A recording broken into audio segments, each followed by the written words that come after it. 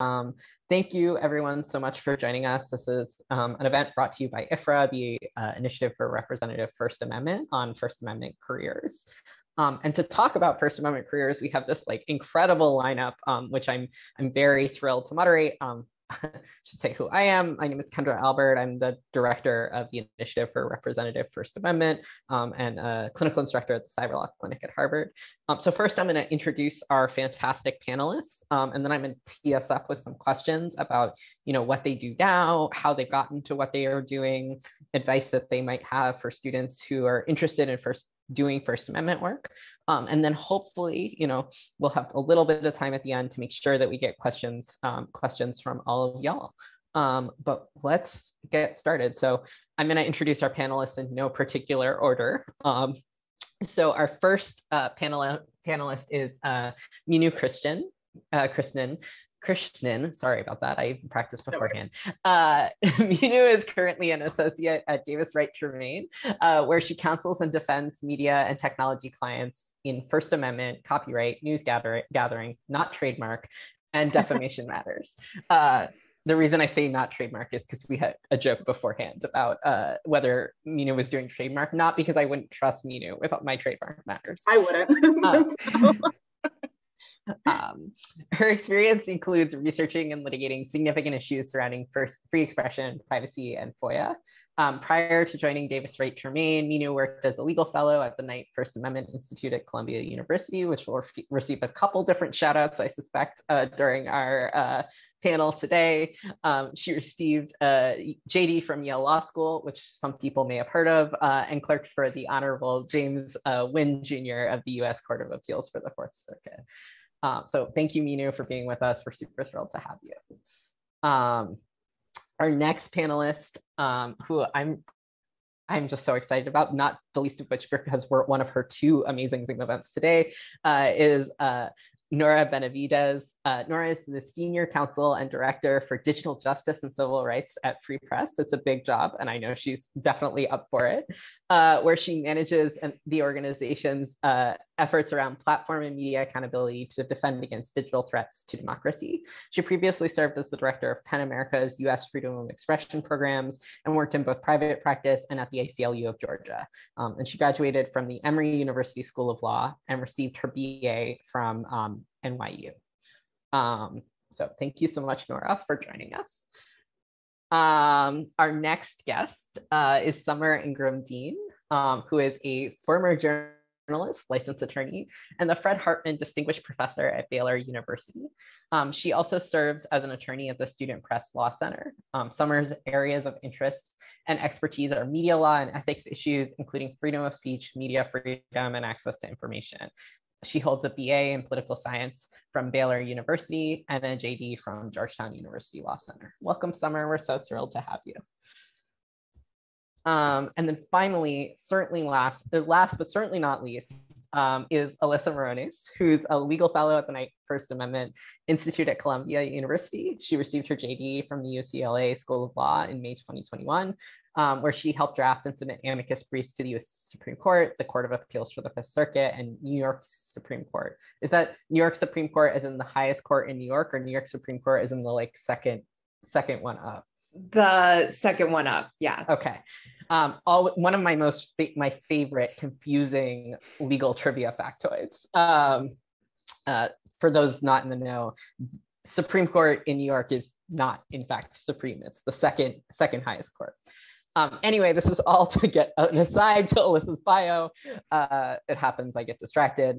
Um, those were all as members of the First Amendment Amicus Clinic. Um, during law school, Morones was a fellow with the Initiative for a Representative First Amendment, which is how I got to know her, um, and interned at the Cornell First Amendment Clinic and the, the, Reporters Committee for Freedom of the Press. And she received her BA in political science from the University of Notre Dame. So thank you, Alyssa, for joining us today.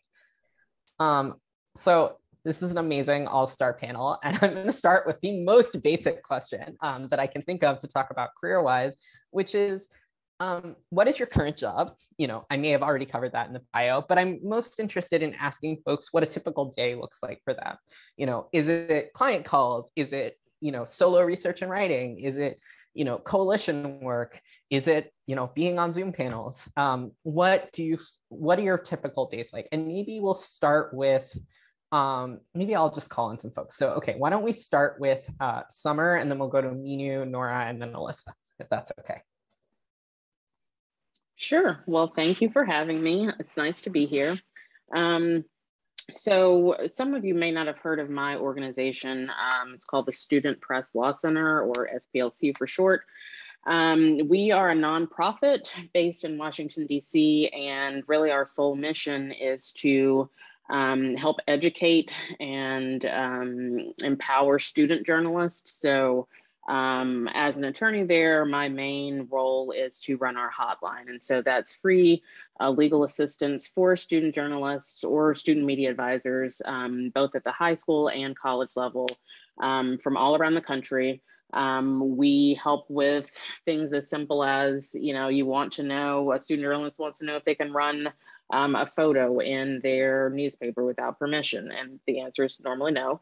Um, we help with more complicated matters of censorship. Um, again, that's both at the high school and college levels. Um, any sort of, of media law issue you can think of um, that professional journalists face, student journalists also face as well, um, plus the added pressures and challenges of um, censorship from school officials. So um, a typical day for me may look like, um, you know, monitoring our hotline, making sure sometimes we have um, really pressing issues that come in, someone who is trying to uh, send their paper to print and their principal won't let them. Um, and so that could involve acting really quickly on multiple fronts. So both counseling the students, um, you know, putting together resources for them um, so that they can know what their rights are, perhaps putting together um, a letter with a coalition of other free speech and free expression um, nationwide organizations to send to the school. Um, really sort of a myriad of things, getting in touch with local uh, media to cover the story. Um, so I spend a lot of my day talking to student journalists from all over the place. It's a lot of fun. Um, like I said, we handle all sorts of, of different um, questions and things that may come in. I also do a lot of training. So um, our organization has a program where you can um, book myself or another member of our legal team to come into the classroom and train student journalists on things like libel, so how not to get sued, um, copyright law, how to use open records laws in their reporting. Um, you know, what to do if you're planning to cover a protest, things that you should think about when it comes to that. Um, so it's a lot of fun. Um, and additionally, I'm also a professor in the journalism school at Baylor, um, where I teach law and ethics. And so, um, again, just working a lot with students. That class is for majors in the department. And so, um, really, my passion is around working with young people and making sure they understand what their rights are as they enter this field. Amazing, thank you. And I have sort of this um, this wonderful mental image of you know some person being uh, some young person calling you as their the, the, there's a literal printing press. I don't know if there are little printing presses involved anymore, and they're like the principal is trying to stop it, and you're like we got this. Um, they're like running away with the phone. The principal's yeah, trying to catch me. um, please don't disabuse me of the notion that that's that's what you do day to day. That is um, exactly what I do. Yeah, right, perfect. Thank you. Fantastic. All right. Minu, I think I suggested you would go next. So we'd love to hear what is your, yeah, what is the typical day or what are the kinds of things that you do day to day look like at Davis Wright Tremaine? Sure. Yeah. And thank you for having me. Um, I really wish I'd known about the SPLC when I, because I did college journalism and we were doing some crazy stuff. So I, I, really wish I could I could have called that hotline. But um, yeah, so as Kendra said, I'm an associate in the media and First Amendment practice at Davis Wright Tremaine. Uh, most of my work focuses on defending and protecting primarily journalists, news organizations, and nonprofits in their reporting and commentary. Um, so what I, I like is that I'm involved at kind of the entire life cycle of a story or a report um, that covers everything from pre-publication counseling on news gathering issues or copyright issues, then actually substantive vetting of articles and broadcasts. Um, and then if a lawsuit or a threat of a lawsuit results after publication, you know, responding to retraction requests or actually defending um, in a lawsuit. And then I also do some plaintiff side work for journalists, most often in public records cases, as well as um, amicus brief work for, for all kinds of clients.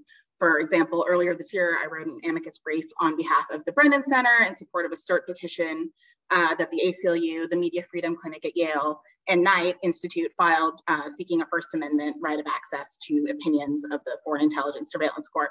So all sorts of things. Um, so as you might expect, uh, not one typical day, but every day my day is pretty evenly split, I think, among litigation, pre-publication review, and pro bono work, uh, which is typically a mix of both.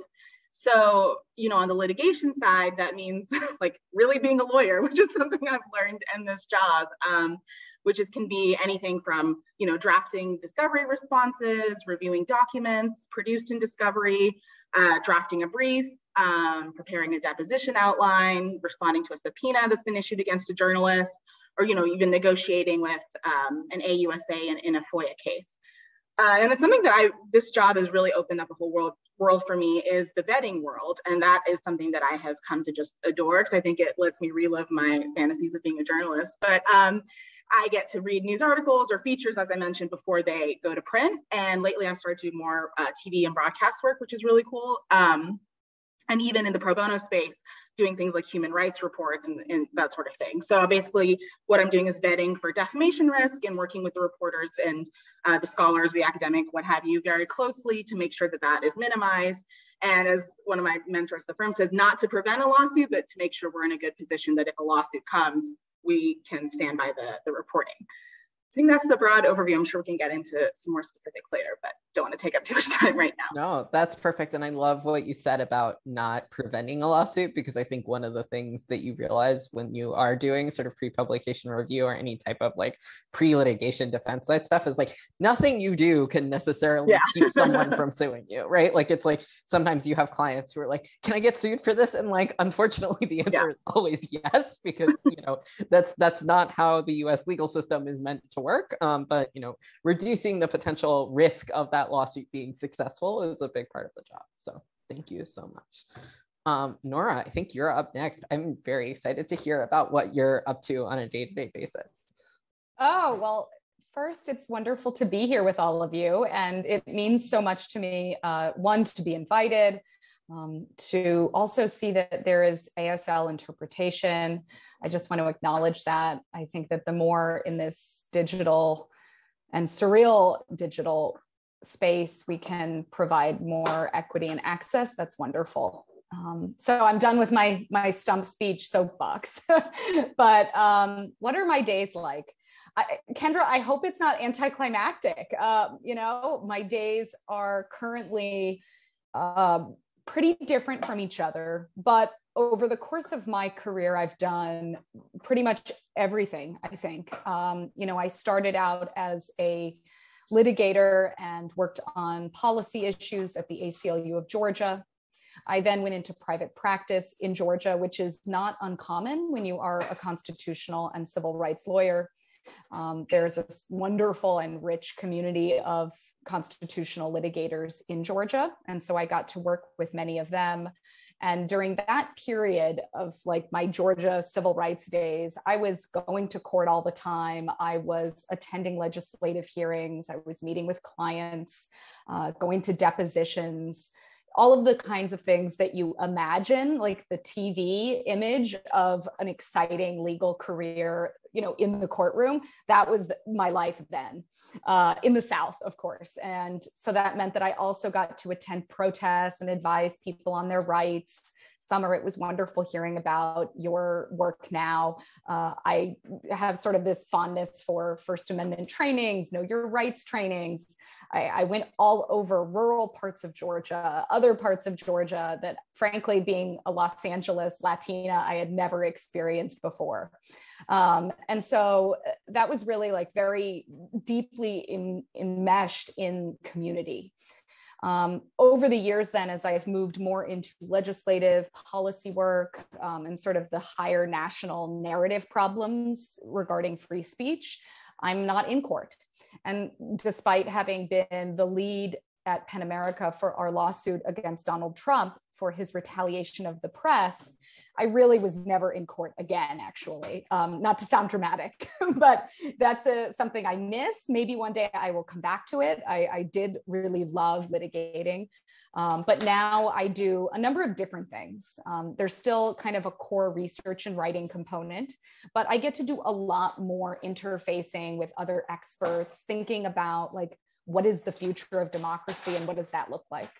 And so I mostly attend a lot of meetings. Uh, you know, I, I want to be very real with all of you who are here. Like, I look at my Microsoft Outlook, which now gives a tally of the hours you spend on Zoom or eh, you know in meetings and I have like 9 hours a day of meetings where they're coalition meetings, they're meetings with the Department of Justice or another federal agency, they're meetings with an individual at the federal level who might be thinking about some kind of interesting and what I would push for policy uh, around civil rights and digital rights.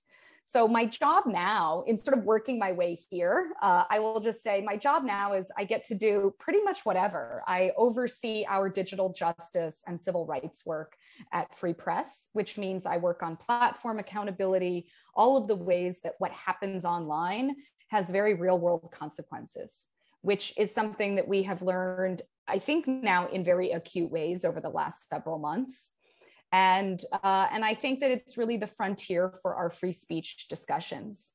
So I get to look at policies, I get to draft legislation, um, and it, it's a lot of fun. Like I don't want that to get lost because I feel so lucky that I love my job so much, and um, when you guys invited me to speak here, that was the number one thing I was excited to talk about is just that lawyering can be so rewarding and very stressful, but really fun.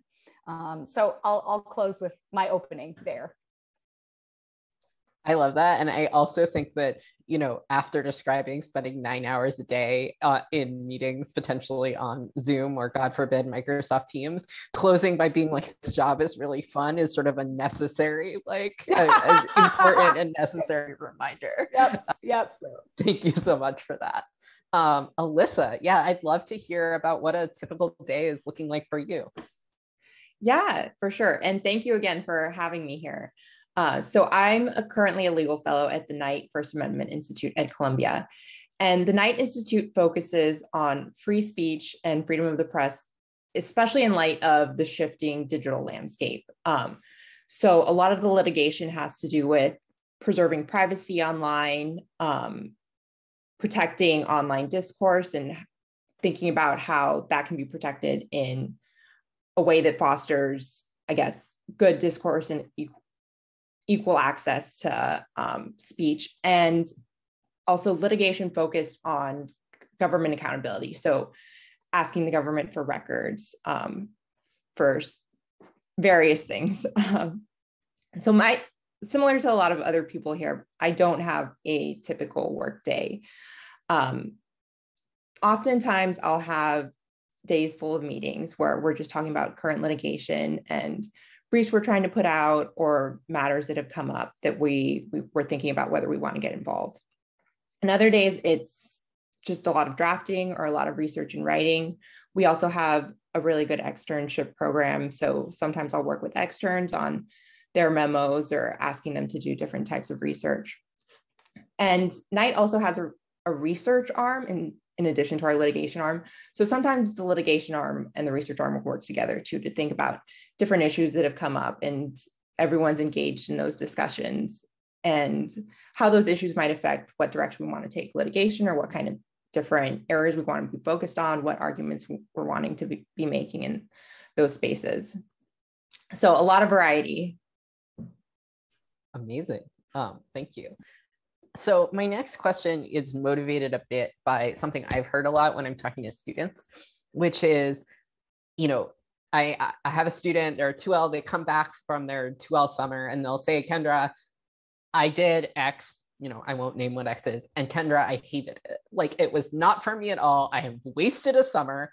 Like, you know, I only have these two precious law school summers to ever get experiences. And anyway, yeah, I'm I'm I'm exaggerating slightly, but I think you get the point. Which is to say, you know, one thing that I'm really curious about, especially from folks as um, accomplished as all of y'all, is what are, you know, y'all have sound like you're doing incredible work that you're off many times made you really excited about what were some things that you tried that you liked less? So my question is, has there been something in the course of your legal career that you learned was not for you? Um, or that you were like, I tried that and like, that is not, you know, I, I don't want to do any more of that. Or I want this to be a pretty small part of what I'm doing going forward. Um, and what was it?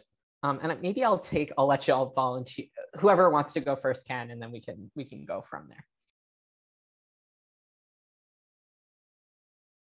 I'm happy to jump in um, because uh, Kendra, I I feel like the ability to practice and test when you're a law student is really critical.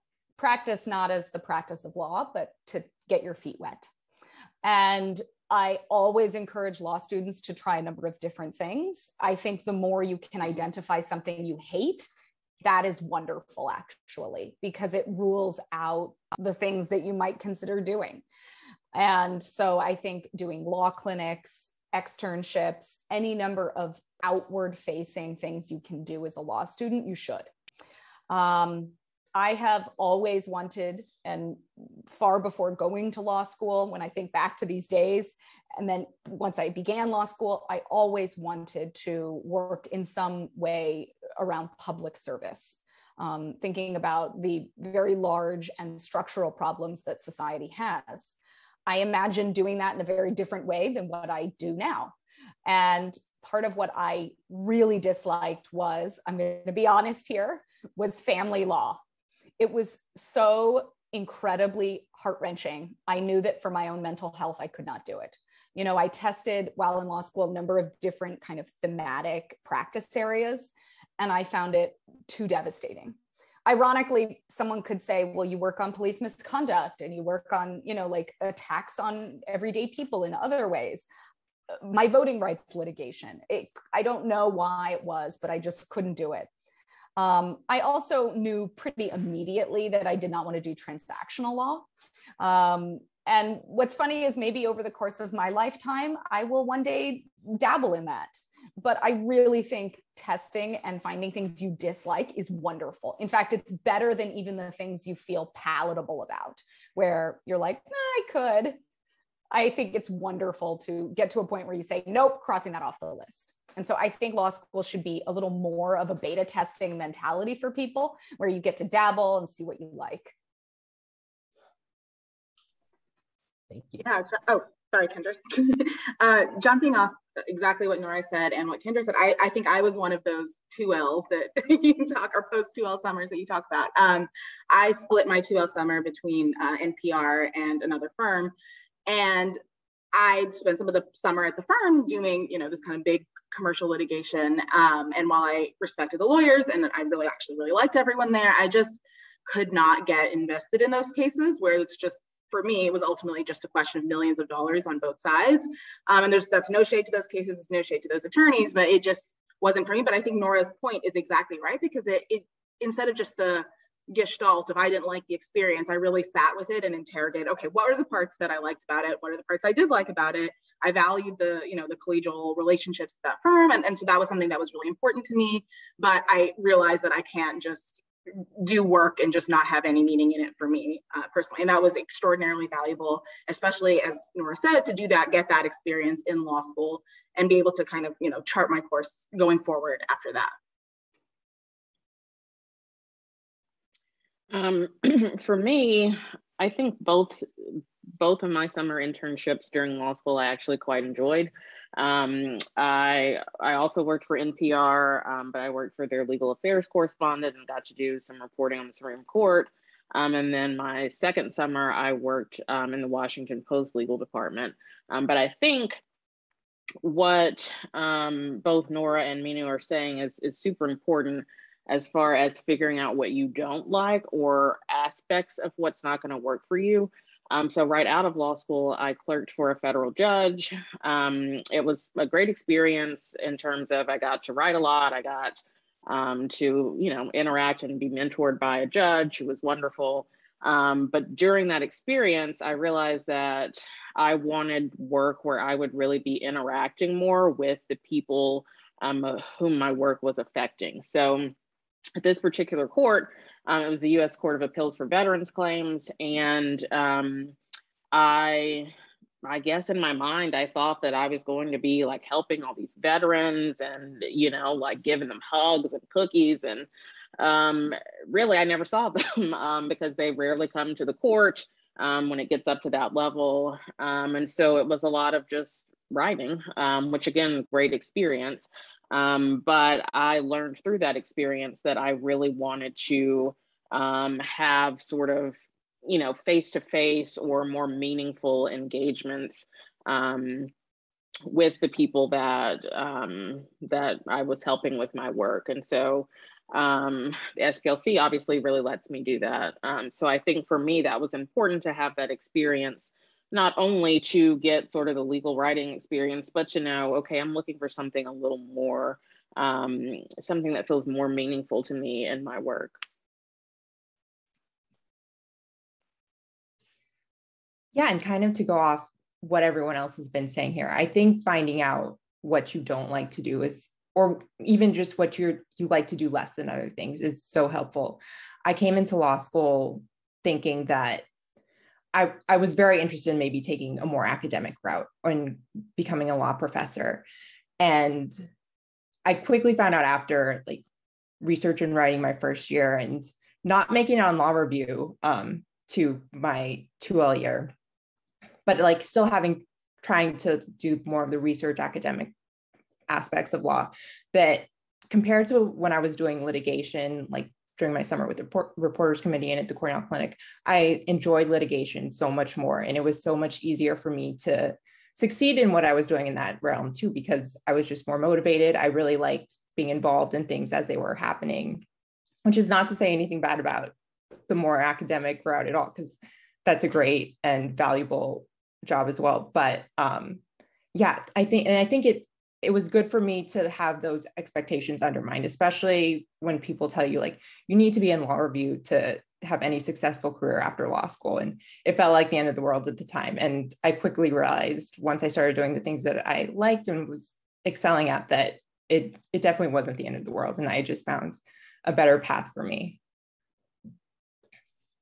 Thank you so much for sharing, Alyssa, and also everyone. As someone who also did not make it to law on law review and was also heartbroken about it, I I think it at, at the time I do think it is a it's a really valuable moment to be like, hey, what was what, what I'm you know, can I achieve this thing that I was interested in in some other way? And it turns out in being a lawyer, sometimes a lot of the stuff that I think is appealing about being a legal academic is actually things you can do not being a legal academic, right? You're, you know, if you're doing litigation, you're going to be doing research. Like it's, you don't have the option of not doing it. So I think that's such a good, it's such a good point that sometimes, you know, I had a, a law professor in law school who would always be like, well, like sometimes doors close and that's fine. And like sometimes windows open and sometimes windows don't open. And we were all like, okay, like this is the weird, most weirdly constructed house that I am currently imagining. Um, but like, I think that your point, which is that, hey, you know, you may learn this thing I thought I wanted is not actually quite what I was looking for. And that's, that's super valuable. Um, so thank you everybody for sharing. Um, my next question is maybe I think a little bit unusual, and I've cleared it with panelists in advance. So if you're watching and you're like, "Oh my god, I can't believe Kendra asked this," and is putting them on the spot, um, I'm always curious, especially uh, uh, for folks who might be underrepresented or from groups that are tradition have been traditionally historically excluded from First Amendment law, how that student debt um, and both from maybe law school or from undergrad um, or you know other kinds of financial obligations including like familial support or you know um, taking care of uh, kids you know being a caregiver how that affects career decisions. And so i'm, I'm i've asked our panelists if they feel comfortable to talk about how they thought about student debt when they were sort of figuring out their careers or about sort of financial decision making more generally and how it impacted their choices because i think that's something we don't often sort of verbalized directly in these conversations about careers enough. And so I want to sort of put it on the table. Um, so again, I'll happy to have y'all go in whatever order you're most comfortable with. Um,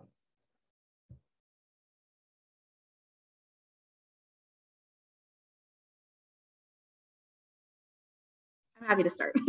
Just because I hate awkward silences, that's really the primary reason. Not that this was an awkward silence, but um, Yes, I'm so glad that this is a question. I'm so glad we're talking about it because I think, I mean, I think this is in law generally, but I also, I feel especially like in the First Amendment and the public interest space, nobody talks about it. Um, so to answer your question, 150% yes is to student loan making an impact on my career choices. Um, actually, so in, in the spring of my fellowship at, at Knight, I was trying to figure out what I was going to do next. Um, and I really, I mean, I had done a lot of clinical work in law school. I had done this public interest fellowship that I loved. Um, and I was really interested in continuing that. But I think there reached a moment where, especially early on in public interest work, it seems like the typical trajectory is fellowship hopping and really just hoping and praying that somewhere a staff attorney position will open up or something that's a little more permanent. And a lot of that is luck. A lot of that is just being right time, right place. Um, and being willing to accept, I think, a lot of like fluctuation in your personal life in terms of moving every year. It, it was, it's very uh, chaotic. Um, and so I, I had this moment where I was deciding between, you know, applying for some more First Amendment fellowships or going back to the firm I summered at.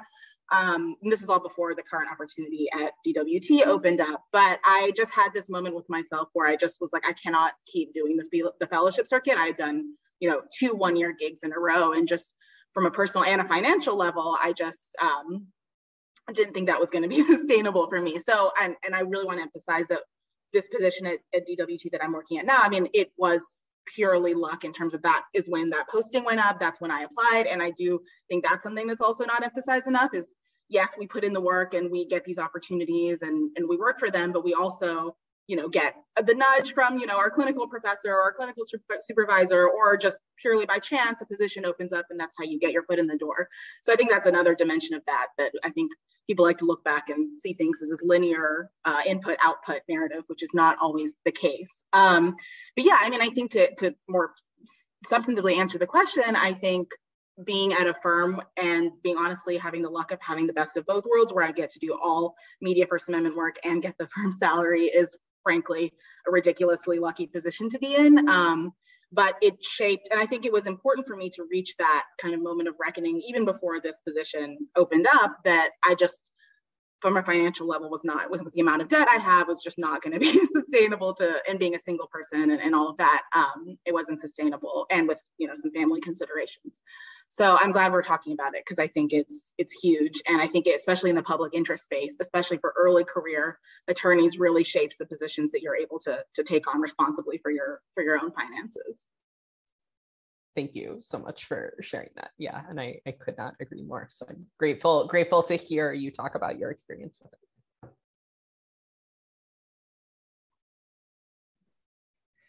I can jump in too, because um, yeah, this was a huge consideration for me, especially when I was applying to law school, because I knew I wanted, I wanted to be, I wanted to go into public interest, and I wanted to make sure that that was something feasible because you know I wasn't if, if you have too many student loans to pay off, you, it just becomes not a feasible career path. And so I, I was very conscious of like what scholarships were available and what my schools like what school what assistance my school would be able to provide afterwards in terms of public interest funding um, which and that that takes like a lot of footwork and it, it still takes a lot of footwork being aware of like what your options are and like if you're to if you're to try to get loan forgiveness and like coordinating all that um one thing that and obviously like the, those are huge concerns for some people. One thing that i i think is good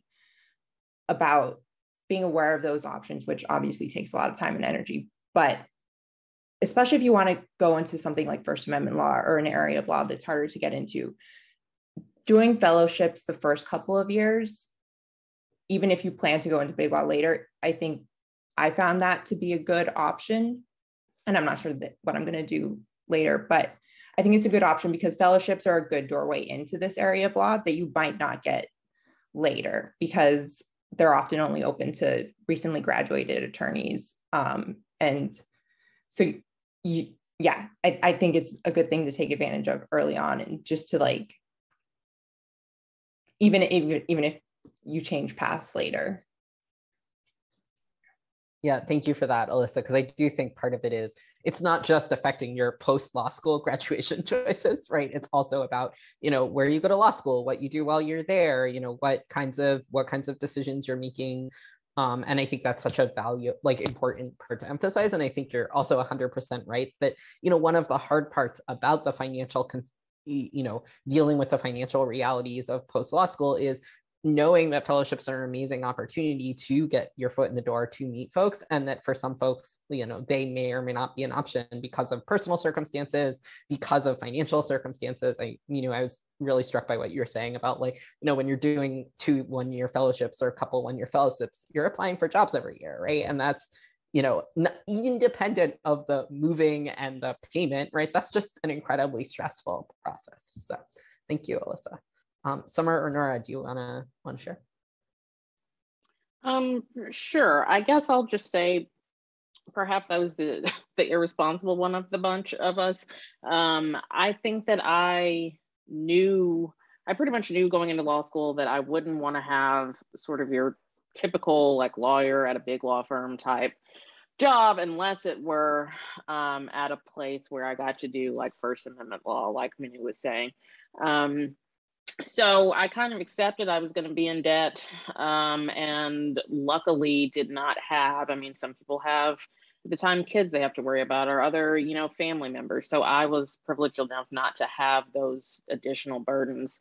Um, but I did. I will say when I was trying to choose between law schools, um, I spent like this inordinate amount of time panicking over whether I should choose to go to Georgetown, which was giving me a partial scholarship um, and Vanderbilt, which offered me basically a full ride. Um, and I knew that, uh, I guess I'm not really sure how to explain it. Um, I knew that uh, sort of the type of law that I wanted to practice um, that DC would be a great place to be, even though Vanderbilt was a great school as well, and they have a First Amendment clinic and you know wonderful school. Um, but I guess all that to say, I ended up sort of um, kind of on a wing and a prayer, hoping that the public, you know, the 10-year public service loan forgiveness program would pan out, um, and that I just knew myself and knew that I couldn't be in a job that I was you know, miserable at, even if I was making a lot of money. So I decided to just sort of go for it. Um, and, you know, st- still jogging along. Um, but yeah, definitely was and still is a consideration. Um, but I just kind of accepted it. I don't think that's irresponsible, just to be clear. I think that's no, very normal.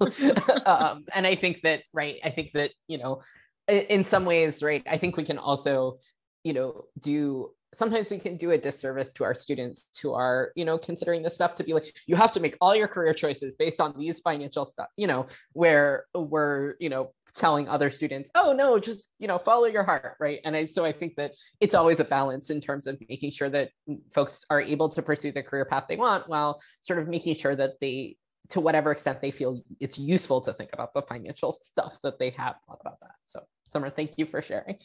Um, Nora, did you have stuff you wanted to share? Yeah, I think this is an, an excellent question and one that I wish we discussed more, um, not just in the First Amendment space or public service space, but generally the kinds of um, structural inequities that the legal system perpetuates um, I feel lucky, as I've said before, that I had enough money to afford the applications for law schools and for more than just one or two law schools. Uh, but there are law students that I've worked with and that I know, I'm sorry, there are um, students who want to apply to law school who can't afford more than one application. Um, so from go, there are financial barriers. There are also barriers and sort of um, inequities around testing and how well people test depending on their education, where they come from, there a number of factors.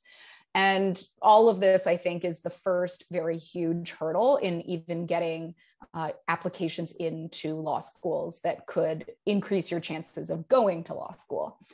I got a very wonderful um, and significant scholarship to go to Emory Law, which is why I chose Emory Law. Uh, it's the only school that gave me a scholarship of any sort, and it was sizable.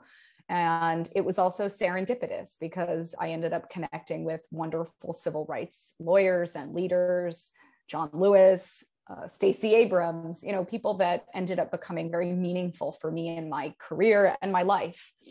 Um, and I think the scholarship helped push me, of course, to accept that invitation from Emory Law.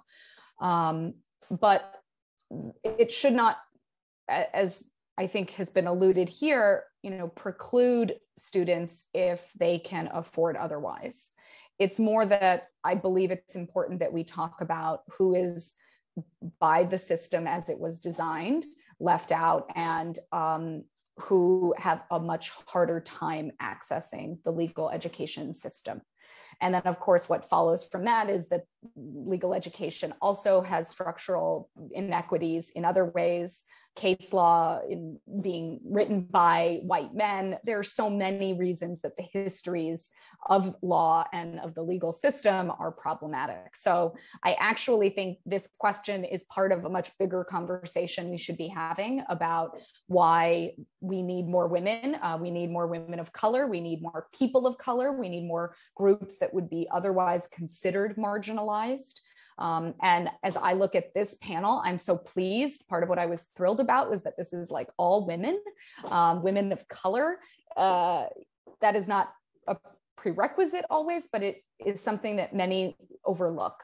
And this is uh, in the fight ahead. I think we actually need to find ways to not overlook those systemic failures. So, um, I, I was so excited when I got this question in advance. And I think we need to like destigmatize that it's something we don't talk about because we should. Um, and there are people that I can't keep giving money to to apply to law school, or you can't. And we need to find ways as a pipeline to build the bench. A hundred percent. Um, you know, uh, I, feel like you it sounds like you were just uh, like oh, i asked you to set up ifra's mission and i didn't i swear. Um, but uh, thank you yeah thank you so much for that everybody for for sharing that stuff. So we actually have a couple of questions in the chat and the q&a that i want to just throw in and then we're gonna i'll close with our final question which is sort of offering a offering a piece of advice. Um, so one question that someone asked is, hey, there it seems like there's a lot of First Amendment jobs in the DC area, but I'm interested in working in the Midwest. I haven't seen many opportunities there. You know, what's the best first step for finding those opportunities or, um, or do they simply not exist? I'm gonna spoiler and say, I don't think our panel will say that they simply don't exist, but I think this is, I, you know, if if Ryan will permit me to also generalize more broadly a little bit from their question, you know, uh, it can be easy to look at First Amendment law and see kind of big organizations. How else would um, folks find opportunities, maybe more local to them? How would you suggest folks do that? Well, I have some very good friends at the ACLU of Minnesota, uh, and they are doing fantastic First Amendment work. Um, I can't promise anything, but I'm always happy to make referrals for people. Uh, they took on and have been leading some wonderful litigation around the targeting of press and protesters during and what followed George Floyd's murder. Um, and that is some fantastic local litigation. There are also now, I think, opportunities in First Amendment and across the board because of COVID that are remote. And so I would doggedly pursue opportunities around the country and make the case that you are uniquely positioned for some kind of job. Um, more flexibility now than ever before, which benefits public service. Yeah, this is something I really care about. I'm from Tennessee and I went to college in North Carolina. Um, and especially if you're interested in the First Amendment space, I mean, those rights are being besieged in all sorts of ways in all of these states outside of, I mean, inside metropolitan capitals too, but out, you know, really outside of them as well.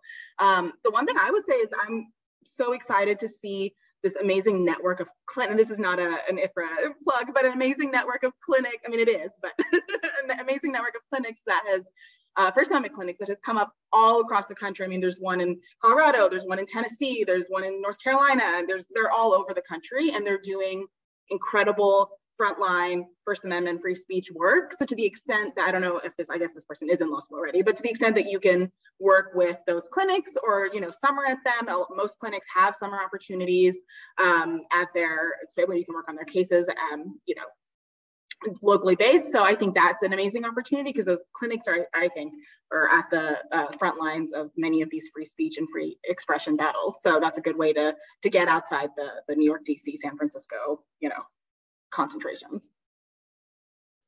I'm to jump in with one suggestion of my own for Ryan, which is something I wish someone had told me when I was in law school. Um, one suggestion I would have, especially if there's specific cities where you know that you're interested in, is literally just to like look at court state court dockets of like you know seeing if there's like a topical search or a specific search for the kinds of like law that you might be interested in whether it's you know um, you could look at like uh, freedom of information whatever the local freedom of information request law is and see if you can find court dockets and look at who's on them right um, because you know the reality is that you know a search for first amendment name of city might not turn up a ton of local lawyers who are doing that work. It might, maybe, um, but uh, oftentimes, even independent of these bigger organizations, right? There are local lawyers who are doing the work who would love to probably talk to you about their practice and maybe put you in touch with other folks that they know, independent of whether they're ever going to be in a position to hire someone or not. Um, so I think that can be that can be um, valuable. Um, I'm going to jump to, I think there's a question about NPR. Um, and folks asked if there's a couple of different folks, different folks who've had experiences at NPR. So maybe we'll take that real fast. And then, oh, people are asking all kinds of really fantastic questions. Um, so we'll do that, maybe do that one real fast. And then I'll jump to, there's one about sort of thinking about the First Amendment as a field. And then we'll close out with offer offering advice. So sorry, I, uh, let me repeat the question for those who are not reading the Q&A. As someone who is considered a position at NPR, can those of you with experience there talk about how that went for you and what that was like? I guess that's Sommer and I, Sommer, I'm, I've, I've been talking a lot, so happy to you go if you want to go first. Okay. Um, well, my my experience at NPR was a little less traditional, like legal work, um, because I worked for the legal affairs correspondent, and so it was still legal work in the sense that I had to do research on the Supreme Court cases and figure out who to interview. And like, it was really great in the sense that, so when I worked there, it was, uh, I guess I worked from like a May to an August. So it was the end of the term, all the big cases were coming down. And so it was really on the job learning. Like, uh, I worked for Nina Totenberg. And so she would tell me, like, hey, you read the dissent, I'm reading the majority opinion. You tell me what I need to know because I need to be on air in 10 minutes. And I was like, I got. Um, okay. Uh, so it was it was fascinating, and it was I got to write like the um, the online versions of her radio stories. Um, so it was great experience. Again, not your traditional. I didn't work in the legal department, um, which maybe you did, Mina.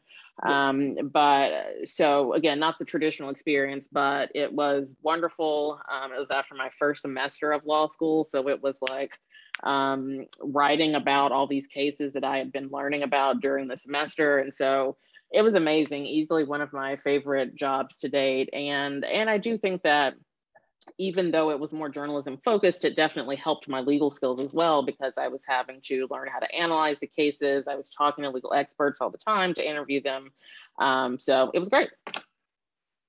Yeah, and I'll be quick because I know we've got other questions, and I'm happy to talk longer with this person offline um, if they're interested. But yeah, so I was in the legal department, the GC's office in at NPR, um, and it was my first real in-house experience, which was amazing. Um, and most of it, what it was, was working with the uh, in-house counsel. I mean, I got kind of my first preview of vetting experience there. The thing that I that I found really valuable, in addition to meeting um, the wonderful wonderful people at NPR, is that I really missed litigation because you know many as probably know, many um, in-house legal departments at news organizations these days, the New York Times is a big exception, don't do that much uh, litigation anymore, uh, primarily you know, for cost reasons. So most of the time they hire outside counsel. So I really missed that part, um, but it was great exposure to what being an in-house counsel would be like. And like, like I said, I'm happy to talk more about that if you're interested.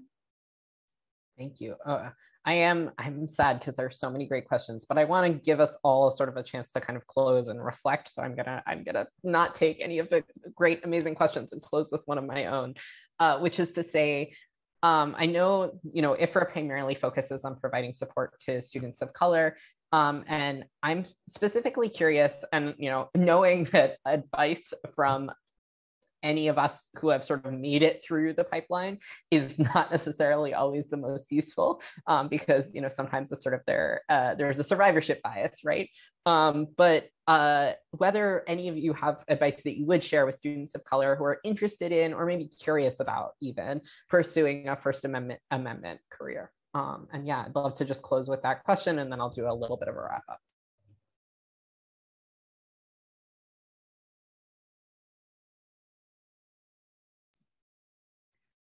I'm happy to go first. Um, yeah, just, I mean, like you said, maybe there's some bias involved, but I would strongly encourage, especially students of color, to get involved in the First Amendment space if they're interested or just in exploring it further. I think so much of First Amendment law has been shaped by a very homogenous group of people. And it it it would I think it serves the goals of the First Amendment, which is cultivating free speech for everyone on an equal basis, um, good, it would serve it well to have a more diverse group of people involved because it's not just what what is equal on paper it's what's what's equal in execution. And people with different experiences can speak differently to that and we can have a more holistic view of the first amendment and one focused on actually raising up people's voices that you know are more traditionally marginalized that might not actually have you know equal and free speech as the law currently is.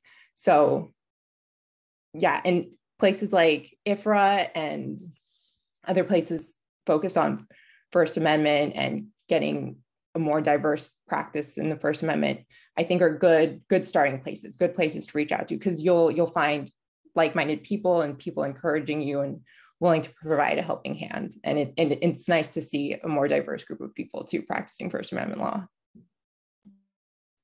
Yeah, I would agree with that. I think um, the most important thing you can do is just like sort of dive in, get experience, find a mentor, um, find places like IFRA and and other organizations that are particularly working on adding more vers- um, sorry more voices of diversity um, to this dialogue. I saw, you know, quickly in the chat a question about someone being sort of um, conflicted or hesitant to do this sort of work because some of it may seem very sort of like white and um, free speech has been sort of co-opted um, in a way to uh, even further harm marginalized communities. And I will just say that I sort of felt that myself, um, you know, sort of at the beginning of my career and thought, oh, should I be off like doing civil rights work instead? Or like what's something that's actually going to help sort of people that look like me?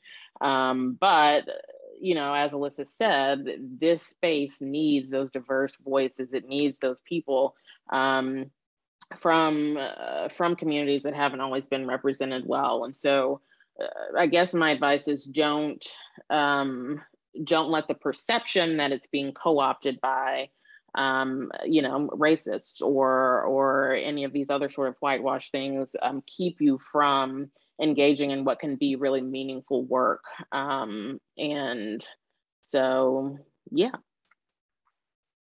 Yeah, I totally agree with that. I think the one additional thing I would say is I think the same norms that tend to bleed into journalism also bleed into the law in the sense that we're told to not bring our biases, to not bring our subjectivity. And that's I think especially true when you're defending journalists or something, but I think that's not the case. I mean, I think one's background is so crucial, especially in the First Amendment, more you know any other area of the law. But you know, just to give you an example, like vetting. I mean, when you review a news story, you're bringing your own experience to bear to identify what are the issues being, you know, talked about, or what are the things that are legally risky. And so that's one piece of it. And I totally agree with Alyssa and Sommer that, you know, I think you don't have to practice.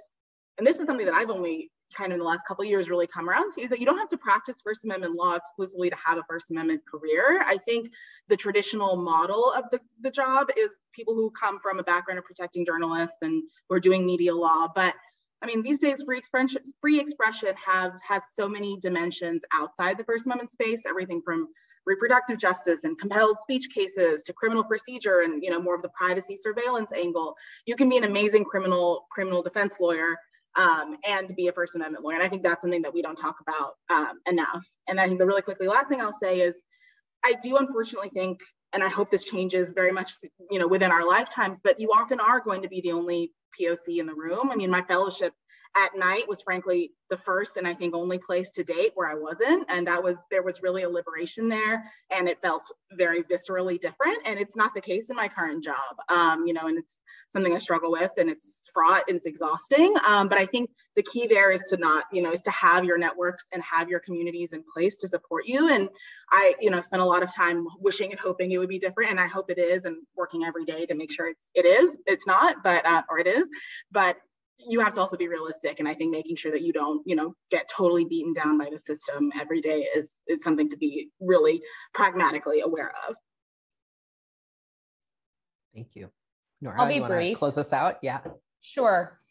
Um, i think if we take a step back from this panel and from frankly just being in this right now in the moment um, there are a number of compounding crises facing society.